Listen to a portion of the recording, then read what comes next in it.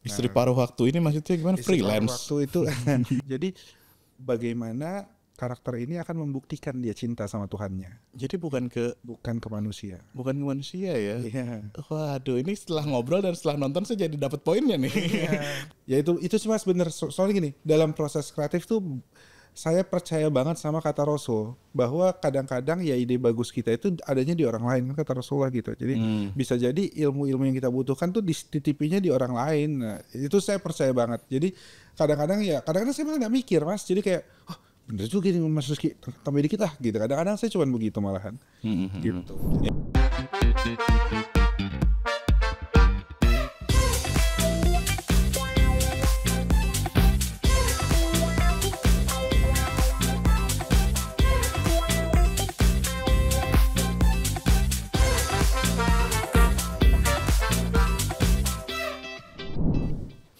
Assalamualaikum warahmatullahi wabarakatuh. Apa kabar Haji Muda semua? Kita balik lagi di Ikro Talks dan untuk episode kali ini kita bakal bahas sesuatu yang menarik karena kita bakal membahas terkait cerita film, web series, apalagi pokoknya semuanya dilakukan. Nah, kita langsung ketemu nih sama empunya dari filmmaker muslim. Apa kabar nih Mas Gifar? Alhamdulillah sehat mas. Sehat ya. Wah, ini kayaknya mata tuh masih kelihatan ngantuk nih. masih luar biasa Karena kemarin eh, baru aja gala premier Ya. film terbaru dari filmmaker muslim. apa tuh perjalanan pembuktian cinta Perjalanan Pembuktian Cinta. Nah, PPC. PPC. Itu baru gala premier. Berarti pulang baru pagi ya, Mas ya? pulang ya pagi buta Bu. Wah, nanti kita bakal bahas nih terkait film baru dan eh, filmnya ini kapan tayang, Mas? Insya Allah tanggal 7 Maret Tanggal 7 Maret. Berarti ini di take itu tanggal 1 Maret. Iya. Nah, berarti masih ada teman-teman kalau misalkan eh, udah tayang nanti udah langsung siap-siap aja nih. hari pertama gempur bioskop pokoknya Betul, itu kayaknya wajib tuh. wajib mas Jangan kalah sama film-film Hollywood ya. Iya, jangan dong. Cintailah produk-produk Indonesia. Oke, tapi sebelumnya nih Mas, eh, kita pengen tahu nih, kalau misalnya teman-teman di sini pasti udah pada sering ngelihat web seriesnya BPKH. Terus juga eh, pengen tahu kayaknya ada seseorang yang berada di balik itu. Wah, yang orang yang emang jadi apa ya kalau saya bilang eh, otaknya dari filmmaker muslim. amin Nah, ini nih Mas Gifar ini. Nah, eh, kasih tahu dulu dong Mas ceritanya. Ini saya tahu FMM itu mungkin tahun 2014. ya 2014 Tapi tahun berapa sebenarnya? so, ya 2014 2015 kan. Tapi namanya bukan FMM dulu. namanya One Production One Production. Eh, baru ganti nama setelah dapat hidayah dapat tidak ya? Karena One Production WANT apa-apa? ya WANT mau Mau hanya mau produksi aja Mau gitu. produksi Nah, iya. berarti itu awalnya gimana? One Production terus jadi FMM. Eh, One Production itu sebetulnya dulu ya eh, ada ada co-foundernya kan kami kan berlima saat ini tapi dulu memulai ini Mas Amrul Mas Amrul duluan. ngajakin saya Nah, Mas Amrul ini ini nih sutradaranya, Sutradaranya, dari betul. PPC ya. betul sutradaranya PPC sutradaranya FMM sekaligus kreatif direkturnya FMM Oke. jadi kayak Mas Amrul dulu punya cita-cita bikin film kemudian ngajak saya dan beberapa kawan lain tahun 2014 Ini perjalanan teman kuliah, teman SMA, temen ketemu gede sih kita juga nggak inget-inget banget sebenarnya gitu tiba-tiba aja udah Tiba-tiba udah, udah. satu kontak, teman BBM. iya, jadi kalau ada orang ngomong kita ketemu di mana ya, wah kita juga nggak inget-inget banget tuh. Tapi kalau sama istri ingat kan ketemu di mana? Ini direkam kan ya, ingat jadi ingat. Ingat-ingat ya. jadi Terus, dulu namanya One Production, namanya One Production tahun 2014 eh, kami coba mau bikin film waktu itu dan semuanya nggak ada yang lulusan IKJ atau lulusan kampus-kampus terkait seni dan film. Jadi Hmm. anak IT, anak ilmu hukum, eh, anak farmasi malah Ah. untuk Mas Rian eh, dulu di OP-nya FMM sekarang jadi manajer produksi kami.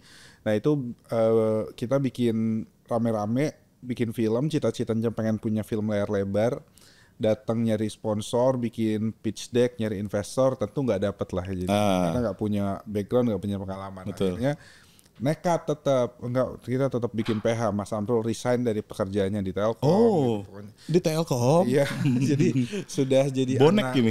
Iya makanya benar-benar deh pemberani Mas Amrul tuh. Ya, karena Mas Amrul berani, kita semua berani. Ya udah kita semua nggak nggak kerja di tempat lain deh. Kita bikin company sendiri namanya One Pro tadi. Ya udah alhamdulillah atas izin Allah tidak sukses gitu. Malah kami harus eh, tutup gulung tikar dengan hutang yang lumayan besar waktu itu. Oh. Dari situ kemudian Mas Amrul bilang, tapi kalau kita punya cita-cita dan punya kemauan gitu, masa iya sih Allah nggak ngasih jalan. Oh jadi out of nowhere dia tiba-tiba jadi wise banget gitu. Terus ya udah kita coba bikin film yang ngajak orang ke kebaikan gitu. Dulu berarti belum One Production belum? Belum, belum. World Production masih bikin film itu kan zamannya dulu film horor yang agak menyimpang, bukan menyimpang, yang agak seksi lah. Iya ya. iya iya. Lagi ngehit. Jadi Air terjun pengantin. ya, kami ikut bikin yang kayak gitu. Oh beneran? Iya beneran, beneran.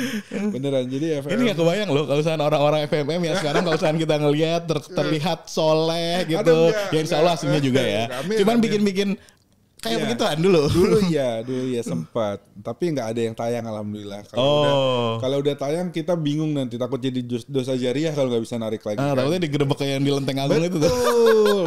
Lenteng Agung apa? Tebet, tebet. Tebet ya. Kok tahu kan ya? banyak di studionya. Banyak studio di mana-mana. Aduh. Tapi kita tahu karena itu ada di media. Bukan kita nggak Iya terlibat. betul betul. Nah, jadi habis eh, itu bikinlah ide pertamanya Cinta Subuh dulu judulnya. Iya Cinta itu Subuh. yang saya tonton. Ya, itu biasanya orang kenal FMM dari Cinta Subuh. Heeh. Buat Cinta Subuh, eh, alhamdulillah hasilnya juga nggak sebaik harapan kami. Jadi secara teknis ya memang kurang banget karena lagi dilit hutang waktu itu kita nggak bisa bayar sewa kamera yang bagus pun nggak bisa waktu itu. Jadi Ah, bahkan untuk sewa ya bukan beli ya. bukan beli, pakai 50D kalau nggak salah. dulu. Oh, Pa- udah lumayan. apa 600D malah. Iya iya iya. Pokoknya Canon yang yang baterainya tuh dipakai ngerekam 10 menit ya harus ganti. Iya iya iya. Masih yang menengah itu. Iya. nah, nah, kemudian eh, jadi cinta subuhnya ditonton banyak orang alhamdulillah dan dapat apresiasi. Nah, ternyata rasanya mendapat apresiasi itu luar biasa. Bukan bagus ya, bukan apresiasi oh filmnya bagus bukan, tapi apresiasi dalam bentuk karena film ini saya berubah jadi orang yang lebih baik. Nah, komentar-komentar kayak gitu yang akhirnya bikin kami eh menyenangkan ya ketika ada orang yang hidupnya berubah karena apa yang kami buat. Nah, Mulailah habis itu tapi yang paling kena pertama sebelum komen-komen itu sebetulnya kaminya sendiri. Jadi kayak tadi di awal kan kami ini memang bukan orang yang ya sekarang juga belum soleh ya masih belajar soleh. Cuman kalau dulu nggak ada niat untuk belajar soleh. Nah setelah bikin cinta subuh ketampar sendiri kan. Yang biasanya sholat subuhnya jam 7 denger azan tuh sekarang langsung bangun gitu. Azan zuhur tapi ya sama aja bohong. gitu. Tapi jadi berusaha karena eh, orang tua waktu itu begitu bikin cinta subuh terus eh, jadi ada alasan untuk nge-push kami. Gimana sih bikin film begitu kok sholatnya masih nggak teratur gitu. Oh, jadi orang tua juga ada Orang involved di situ? Ada involve, ada involve. Makanya eh, hampir di semua film FMM itu kan special thanks-nya tuh our parents setelah Allah Rasulullah Ah, our parents itu selalu. Karena alhamdulillahnya kami-kami di FMM itu punya privilege. Privilege-nya yaitu orang tua yang tidak menyuruh anak-anaknya sukses secara finansial cepat-cepat oh. gitu. Jadi yang penting berkarya, yang penting bermanfaat, yang penting hidupnya bahagia kalau orang tua kami. Itu support yang Luar paling penting biasa, sih. luar biasa. Makanya mungkin kalau orang tuanya yang tipe-tipe tipe-tipe orang tua yang kurang ideal. Kamu gitu. harus PNS. Iya, Mas Abro nggak boleh resign dari Telkom. Kamu harus jadi pengacara Gifar gitu. ya. Pusing juga nanti gitu. Jadi alhamdulillah punya privilege orang tua yang mendukung itu luar biasa. Mas balik lagi, Cinta Subuh itu berarti web series pertama, Eh, film pendek. film, Film pendek. series, iya. Abis itu dibikin series ya? Eh, enggak film pendek tapi ada tiga film tapi bukan series nggak bersambung Oh, Tapi tiga tiga Ada tiga, tiga ada film. tiga film. Oke. Masalahnya saya itu di 2014 dulu saya ingat banget itu bulan puasa yang ya gitu kita habis bulan puasa saya kebetulan pada saat itu eh, jadi eh, jadi ke- kelelawar. Oke. Nah, jadi kalau misalkan eh, pagi itu udah Pagi, jadwalnya tidur, tidur, gitu. bangun. Heeh. Ya apalagi bulan puasa gitu ya, puasa ular gitu waktu itu. Zaman-zaman itu lah waktu itu masih baru-baru tamat kuliah juga. Nah, terus habis itu kayak kebingungan nih pagi-pagi nggak bisa tidur. Akhirnya bulan puasa juga kan ya udah cari-cari apa sih yang bisa menambah apa ya? Bukan keimanan ya. Sengaja waktu aja deh. terus habis itu nonton-nonton ternyata ketemulah Cinta Subuh ini. Nah, itu benar-benar nontonin, nontonin kok eh, seru ya kayak gitu. Ngeliat-liat dan akhirnya malah justru akhirnya berjodoh dia sama FFM malah jadi sering ketemu. eh. Alhamdulillah banget mas itu aduh benar. Makanya itu salah satu yang tadi yang saya bilang apresiasi yang paling berharga itu ketika ada orang yang nonton terus bilang hidupnya jadi lebih baik, hidupnya berubah. Iya, kalau saya merasa ini adalah kebetulan-kebetulan kecil yang memang sudah tidak Betul. terjodohkan gitu loh. betul. Nah, jadi ketika dulu nih, eh, akhirnya waktu saya udah di BPKH, oh kenapa kita nggak bikin barengan sama FMM untuk konten-konten BPKH juga. Nah, jadi kalau misalnya teman-teman ngelihat website-website BPKH yang eh, banyak yang menyentuh hati, wah percintaan-percintaan yang kalau menurut saya sih meneduhkan mas. Meneduhkan biasanya. itu itu kolaborasi kita dengan FMM. Makasih banget loh teman-teman BPKH kasih kepercayaan luar biasa kan. Dan banyak banget mas saya nontonin mas. Makasih. dari eh, awal-awal itu kita sudah memproduksi dari cita-cita cinta, Iya. terus habis itu yang cukup banyak juga serambi cinta, dan semakin kayak gini kita malah bikin kayak naik-naik ke tanah suci yang melibatkan percintaan itu nggak cuman antara Kan laki-laki perempuan laki-laki perempuan doang gitu,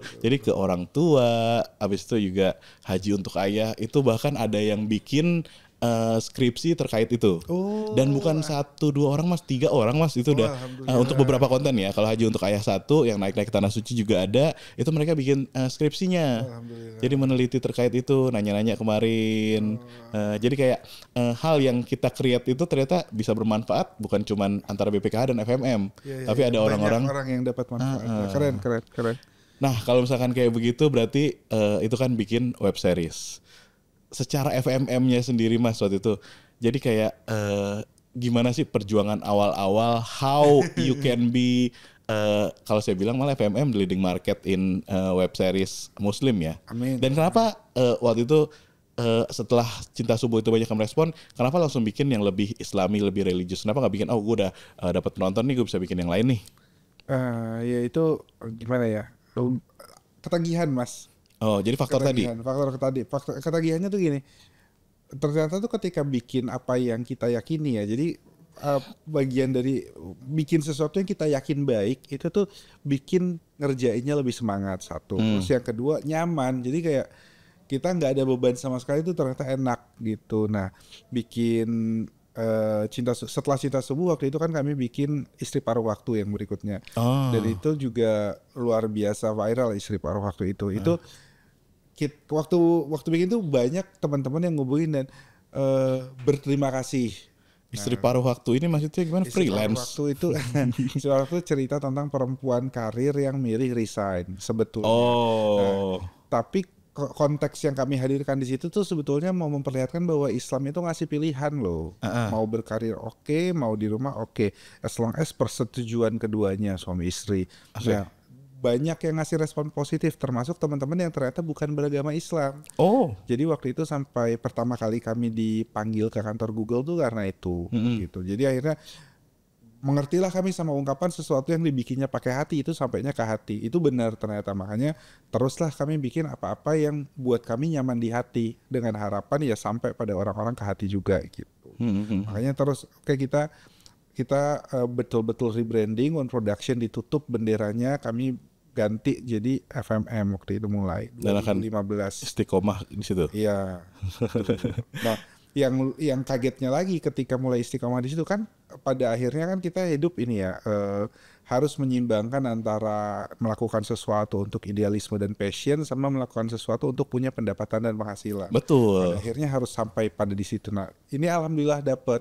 Jadi dulu waktu kecil kan saya punya cita-cita pengen seperti pemain bola. Karena saya pikir keren sekali pemain bola. Mereka menjalankan hobi mereka terus dibayar dan dibayarnya kan mahal. Heeh. Nah, alhamdulillah sekarang kami bisa menjalankan apa, apa yang kami senangi dan dapat pendapatan di situ. Tapi pemain bola kalau liburan nggak main bola mas? Bener juga sih. Ya, Kita juga kali liburan gak bikin film. Iya, benar, benar, Bikin benar. Insta story gak liburan. gitu. Nah kalau misalkan emang kayak begitu berarti eh sekarang sampai sekarang udah berapa web series sih mas yang udah diproduksi? Kalau Baik jumlah- untuk channel FMM sendiri maupun untuk eh, klien. klien dan FMM. Hmm, mungkin web series sudah ada kalau jumlah web seriesnya di atas 50. Kalau jumlah episodenya di atas 200. Eh, iya, kalau satu web series aja 10 episode mungkin ya lebih kali 200 ya. Iya lebih. BPKH aja udah berapa tuh? Iya, BPKH udah 60 sendiri. bisa. iya, udah segitu sendiri. BPKH tuh ada 6 kalau nggak salah ya. 6, saya lupa Iya. Ada yang eh, 8, ada yang persisnya. 10 episode. Betul, ada yang 8, ada yang 10 episode. Nah, kalau misalkan eh, sekarang dari FMM sendiri udah ke film. Ya, alhamdulillah. Bukan sekarang malah ya, sebenarnya sebelumnya juga udah. Sebetulnya pertama tahun 2017 mengejar halal. Itu keajaiban ilahiyah banget filmnya bisa tayang di XX1 di bioskop. Nah, 2017. Iya. Mengejar halal. Mengejar Halal. Itu film yang kami buat dengan modal di bawah 200 juta, sisanya rahmat Allah. Mas film 200 juta ya enggak lah. Ya, ya beneran di bawah 200. Syutingnya pakai BlackBerry. Syutingnya pakai kamera proper kok. Iya. Syutingnya kamera proper. Iya banyak yang bantu waktu itu. Ada yang oh. eh, dapat sponsor, terus ada eh, talent-talent yang enggak kita mau kasih yang terbaik tapi nggak perlu di eh, bayar mahal gitu. Misalnya akomodasi aja banyak yang Nggak harus ketika. Nanti kalau filmnya booming kita dapat eh, nggak nggak ada ya. iya. Jadi betul-betul luar biasa lah pengejar halal tuh. Nah, Mas, cuman saya penasaran sama ini. Dari dulu sebenarnya saya penasaran. Kita sering ngobrol, kita sering ngopi bareng-bareng gitu, brainstorming. Cuman kalau misalkan Mas Gifar sendiri, kalau yang saya tahu Mas Gifar adalah orang yang ya Mas Amrul dan lain-lain eh, tidak inilah tidak menutup peran mereka. Tapi Mas Gifar itu adalah orang yang membuat cerita itu menjadi mengalir kalau misalkan saya melihat. Baik ide-idenya, kreativitasnya, bahkan kadang-kadang juga diselipin sama humor-humornya. Gimana itu caranya? Padahal bukan dari background film tadi Mas Gifar bilang. Karena amanahnya di sana kebetulan. Nah. Jadi kalau Mas Amrul kan amanahnya merangkai jadi film, kalau saya amanahnya merangkai cerita di awal. Gitu. Jadi yang nulis itu semuanya Mas Gifar. Ya, eh, 80% lah. Ada yang teman-teman yang lain. Ah, Mas Amrul juga kadang-kadang nulis. gitu. Hmm. Cuman eh, saya tetap akan in charge untuk proses kreatifnya. Jadi kadang-kadang saya nggak nulis, tapi saya jadi eh, supervisi kreatifnya lah kasarnya gitu. Tapi mostly saya nulis. Ini saya juga pengen belajar nih karena saya juga eh, apa ya? Eh, pengen-pengen belajar untuk bikin sesuatu dari proses menulis yang yang kreatif dan mungkin bisa dinikmati oleh banyak orang. How? Eh, pertama ya kalau dibilang begitu, pertama makasih banget loh Mas. Aku senang dipuji itu aku senang. Karena sudah ada sudah ada resultnya, Mas. Jadi lagi-lagi sebenarnya privilege mas aku nih privilege dari circle yang membentuk aku jadi bisa nulis dan bisa berpikir kreatif jadi eh, almarhumah Umi itu sejak aku kecil membiasakan aku baca jadi dari umur 4 tahun aku inget banget aku dicekokin buku ma- majalah Bobo. majalah bukan majalah Sabili dan majalah Umi Oh, saya Jadi Bobo. Aduh, saya merasa salah untuk menyebutkan Bobo. Tapi saya baca- Langsung di counternya sama majalah religi. saya baca Bobo tapi baru di usia 7 tahun Oke. Jadi majalah-majalah pertama itu justru almarhum itu nyekokinya majalah politik dunia. Jadi saya dari usia anak saya sekarang tuh saya tahu Bosnia dan Serbia konfliknya apa tuh saya tahu. Memang ada ekstrim almarhumah Umi saya itu. Nah, saya baca buku dicekokin sama almarhum Umi dari dari kecil lah. Kemudian saya dimasukin ke sebuah sekolah yang eh sekolah percobaan waktu itu aku saya angkatan kedua waktu SD jadi angkatan pertama angkatan keduanya saya dan guru-gurunya masih sangat care sama eh, literasi jadi kayak karena mungkin karena mereka sekolah baru waktu itu ya jadi mereka gacor sekali eh, nyuruh baca murid-muridnya. Nah terus saya punya almarhum abi saya juga orang yang suka baca dan suka cerita. Jadi dari kecil tuh abi suka cerita sebelum tidur kami cerita. Jadi saya terbiasa banget sama diceritakan dan menceritakan ulang. Kemudian ketika saya punya adik, adik saya juga bisa juga jadinya juga suka baca. Jadi saya punya partner untuk ngobrolin apa yang dibaca. Kemudian ketika masuk ke lingkungan SMP, SMA juga hadirnya juga circle yang yang suka baca, suka nulis, suka cerita gitu. Dan Oke. tanpa saya pernah cari gitu. Nah, kemudian waktu nikah pun dapat istrinya yang juga suka baca, suka nonton film juga, jadi bisa jadi par- sparring partner. Jadi kalau ditanya kenapa eh, dapat ide dari mana atau bagaimana bisa ada di eh, apa ya hidup seorang penulis kayak sekarang penulis naskah dan orang kreatif lah dalam tanda kutip ya karena privilege mas sekarang nggak pernah saya cari gitu jadi kalau Ngalir saya- aja. Iya, kalau saya ngeliat ke belakang tuh gini loh.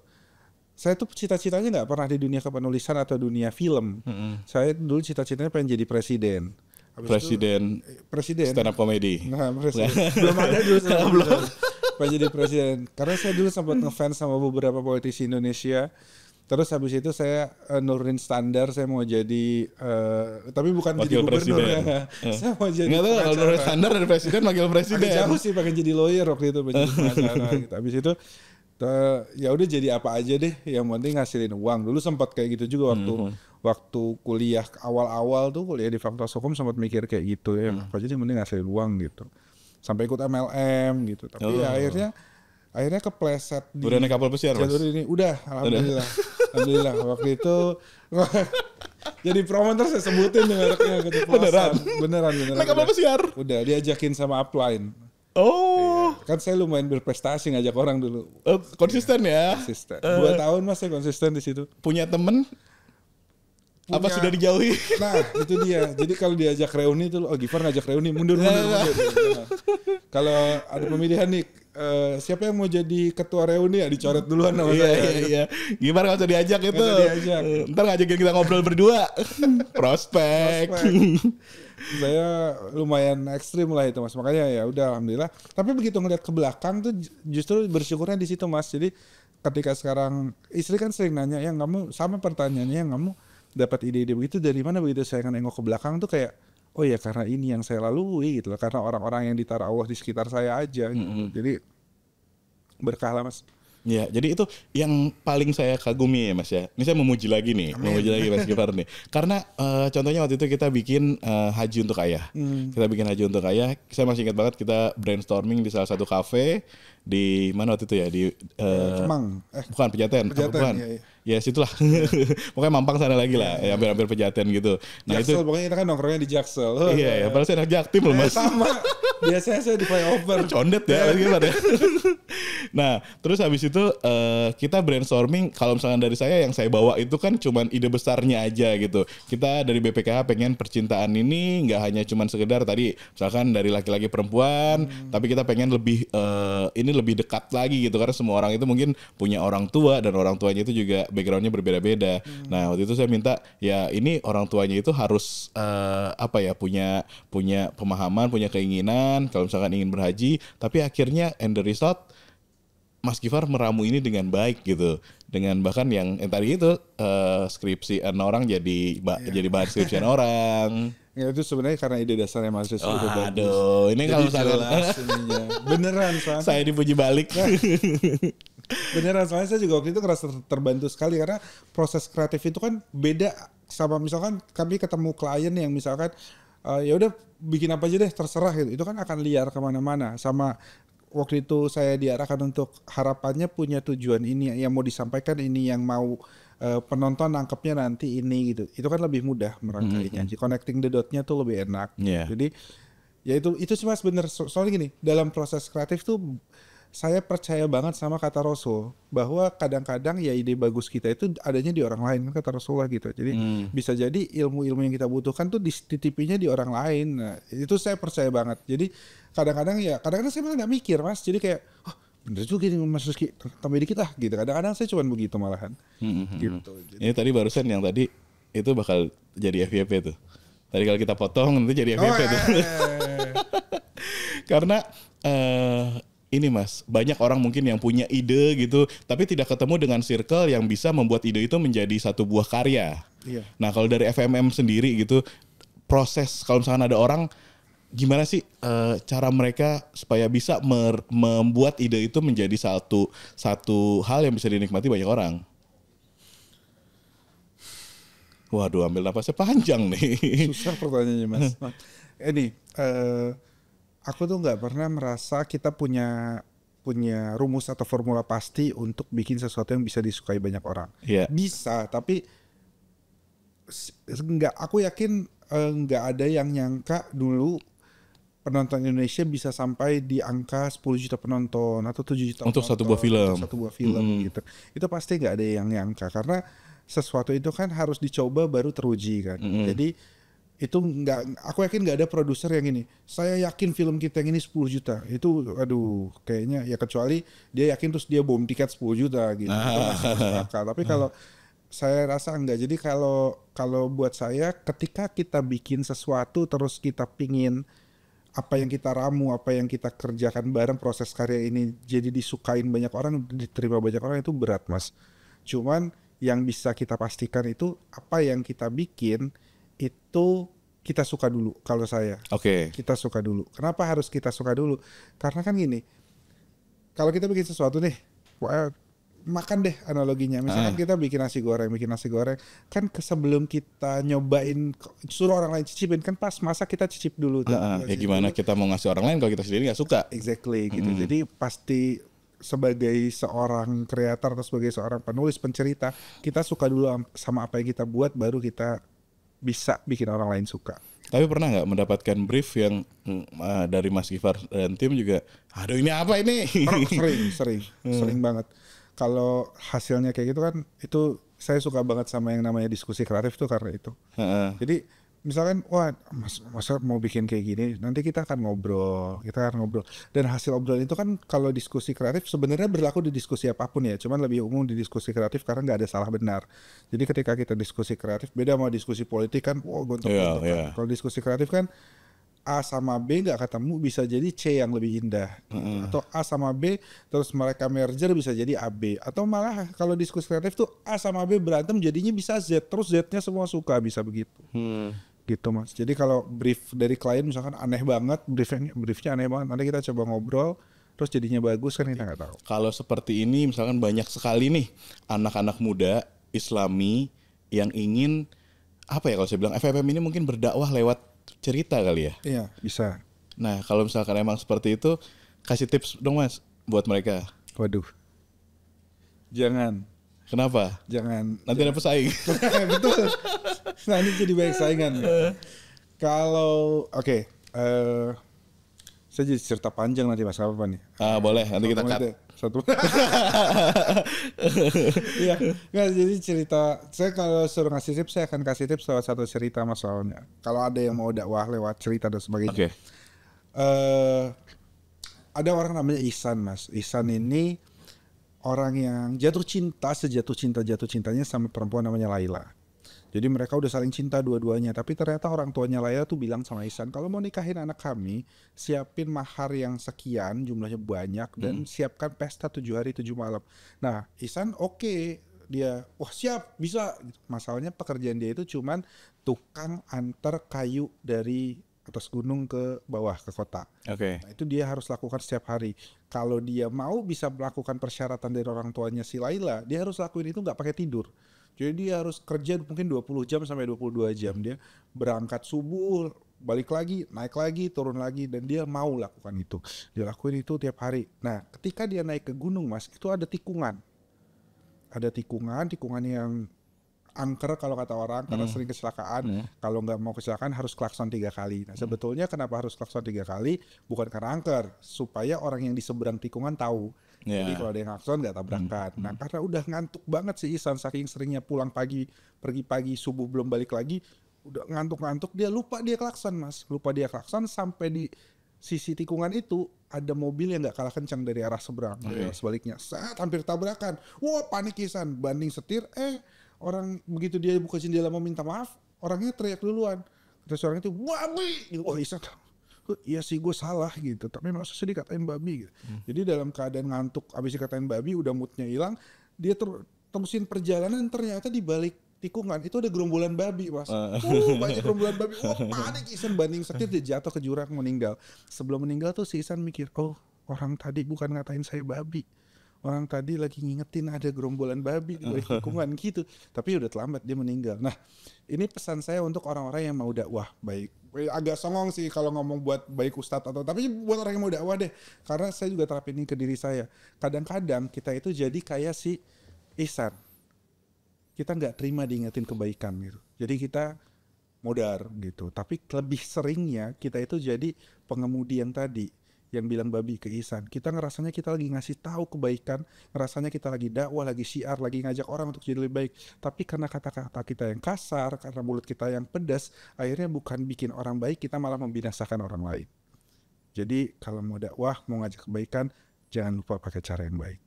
Oke. Makanya FMM itu adalah berdakwah lewat cerita-cerita. Ya, kalau kita nggak bilang babi, kita bilang hati-hati ada babi. Gitu.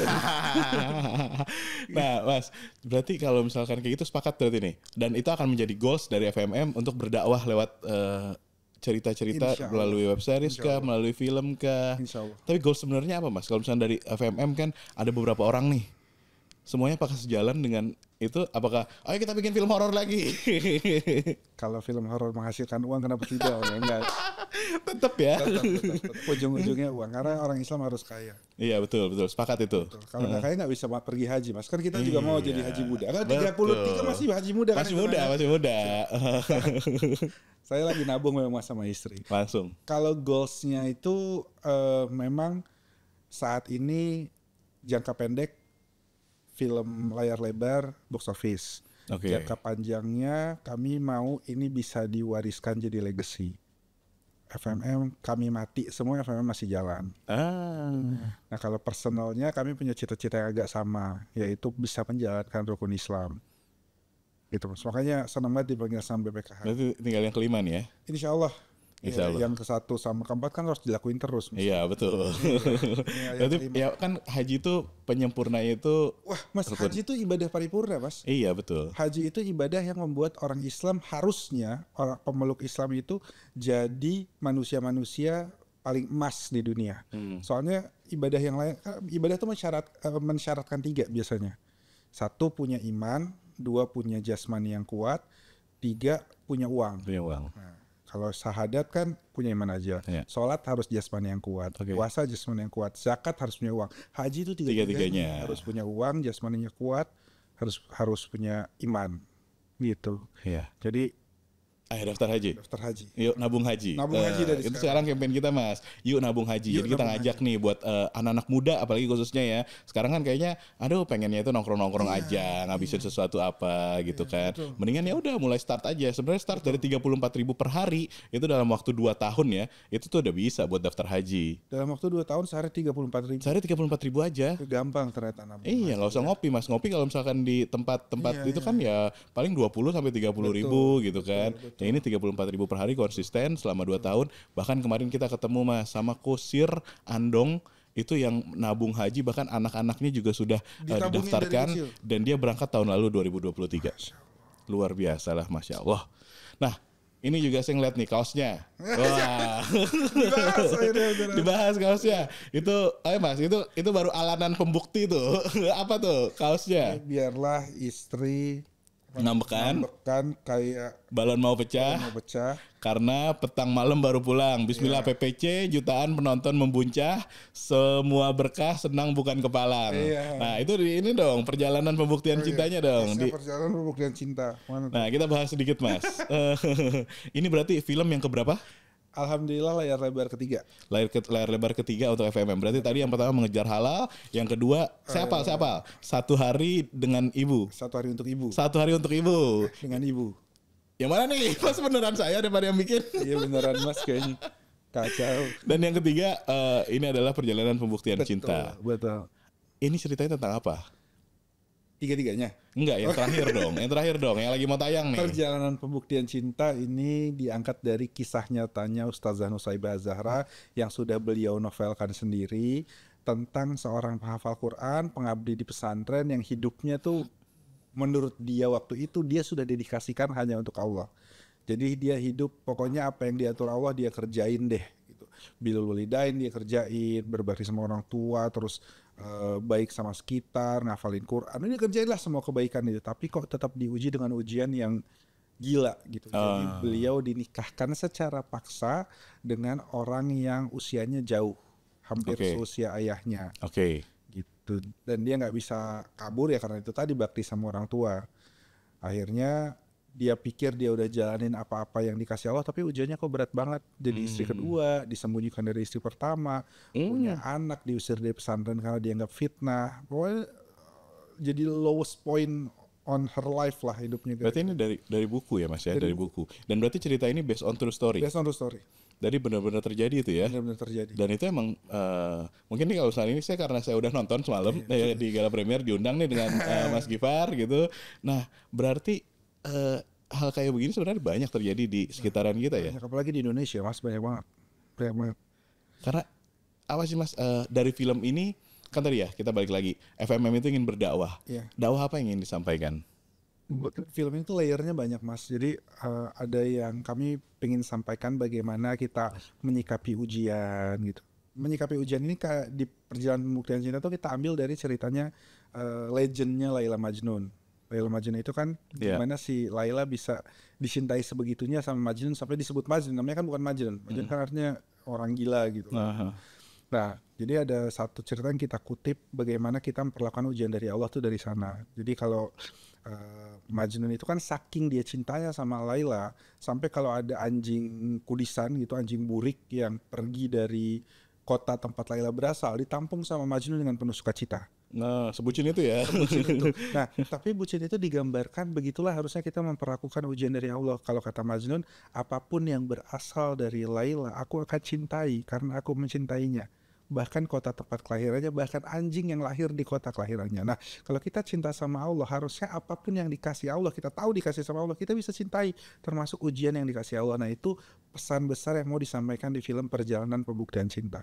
Kan si uh, karakternya Ustazah Nusaibah ini kan di film PPC ini mengakunya dia cinta sama Allah sehingga dia uh, melakukan segala perintahnya dan menjauhi segala larangannya. Mm. Tapi ketika dia diuji, ternyata dia nggak terima ujian itu. Uh. Ternyata dia nggak cinta. Makanya perjalanan pembuktian cinta. Jadi bagaimana karakter ini akan membuktikan dia cinta sama Tuhannya. Jadi bukan ke bukan ke manusia. Bukan ke manusia ya. Iya. Waduh, ini setelah ngobrol dan setelah nonton saya jadi dapat poinnya nih. Iya. ternyata kemarin-kemarin masih menikmati ah, segala alur ceritanya ternyata oh itu message-nya. Iya. Karena kalau misalkan uh, teman-teman lihat itu yang meranin uh, Dea uh, Anissa. Dea Anissa sama Tengkurian. Nah, uh, tapi banyak uh, masih banyak uh, supporting-supporting yang menarik nih. Menarik. Saya ngeliat ada Jawin sama Rispo itu Betul. yang jokesnya itu Betul. waduh Kayaknya itu menambah bumbu-bumbunya tuh. Iya, asik sih asik. Luar biasa mereka.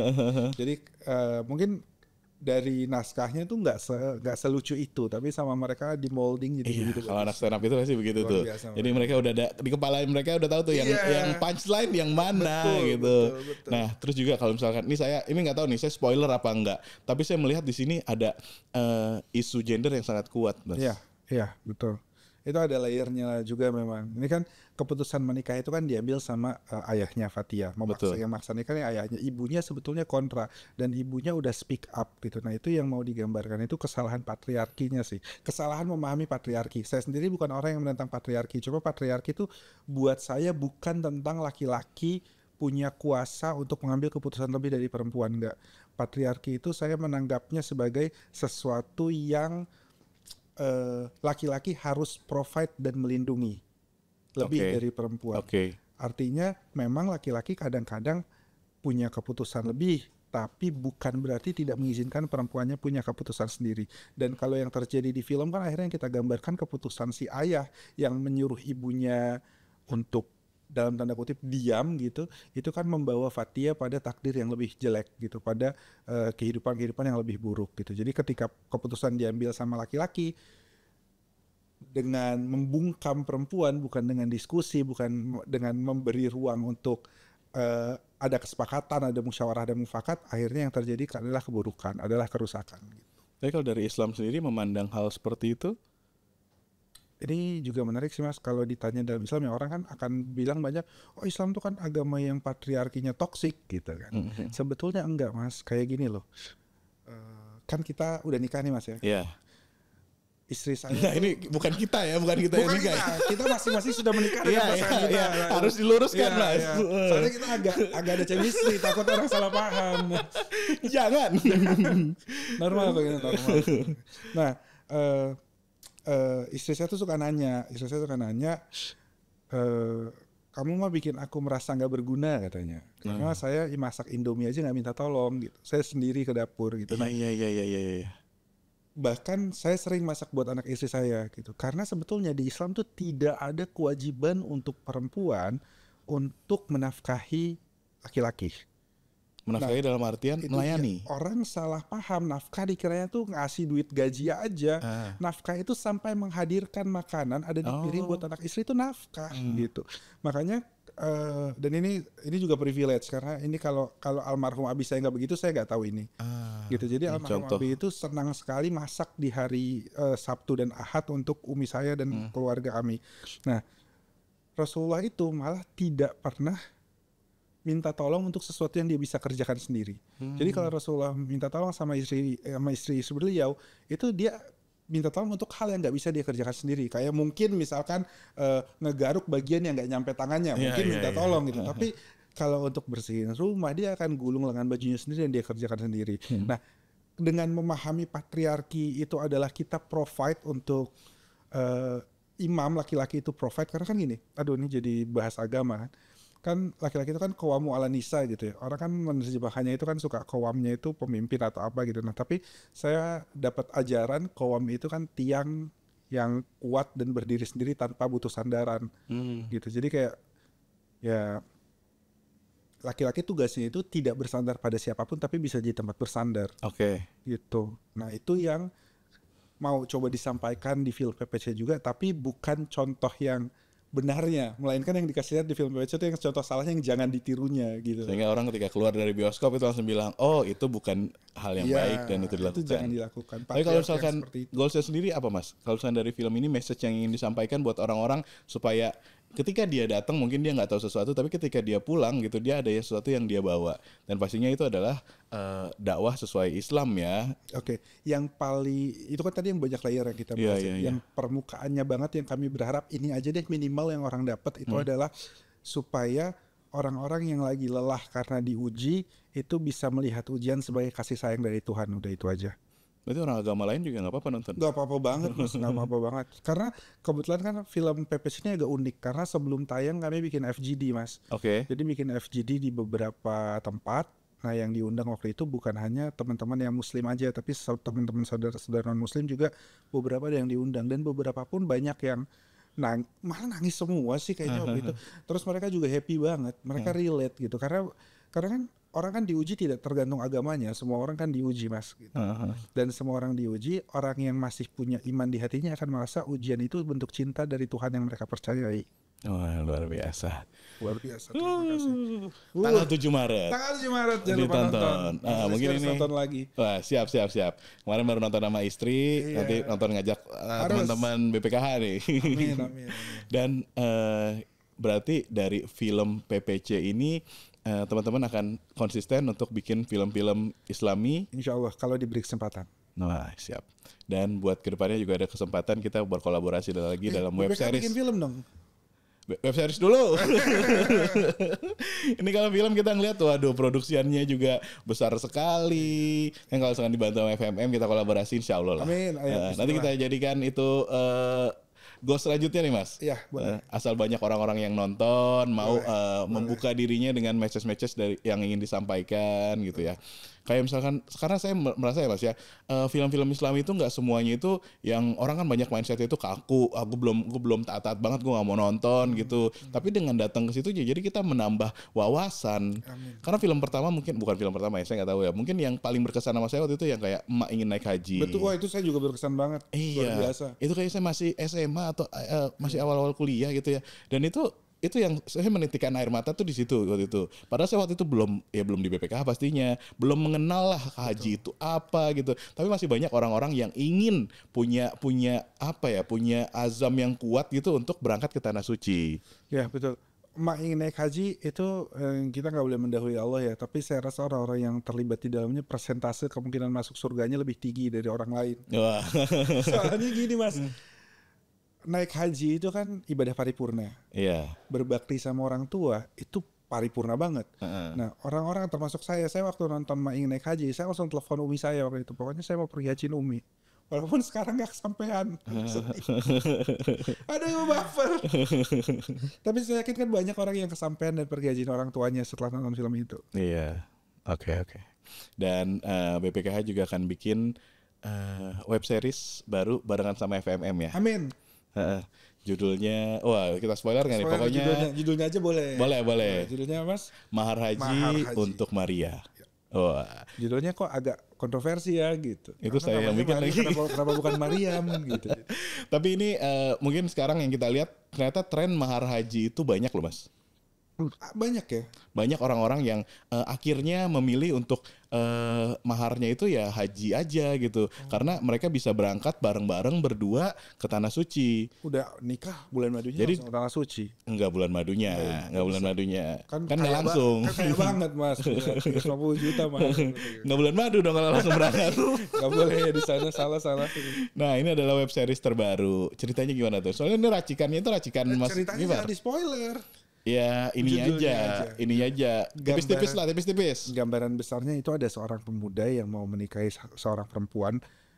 Nggak usah background yang di kampus iya, nggak usah iya, ya. Log lainnya aja. Intinya ada seorang pemuda yang mau menikahi seorang perempuan, tapi permintaan maharnya itu nggak masuk akal, Iya, yaitu untuk berangkat haji. iya. Itu aja intinya aja dulu ya. ya. Pokoknya nanti bakal ada Soalnya ada bumbu-bumbunya. Heeh, namanya kejutannya. heeh. Jadi kalau misalkan belum pada nonton, eh belum pada ngeliat nih web series BPKH barengan sama FMM kayak gimana, langsung masuk aja ke channel kita di BPKH RI. Terus habis itu dilihat tuh ada banyak film-film inspiratif yang kalau misalkan menurut saya sih ya ketika kita nonton ini ada something yang kita dapatkan dan itu mungkin kalau kita nontonnya eh, sendirian ya apalagi kalau misalnya kalau misalnya nonton series itu sendirian itu ya ya oh ternyata banyak eh, cinta itu nggak cuman sekedar cinta cintaan yang seperti anak-anak remaja zaman sekarang gitu Nggak hanya romantisme pasangan. betul ternyata juga spektrumnya luas sekali mas tapi kalau dari FMM sendiri memaknai cinta itu apa? Karena kan FMM ini selalu membahas terkait cinta, cinta, cinta.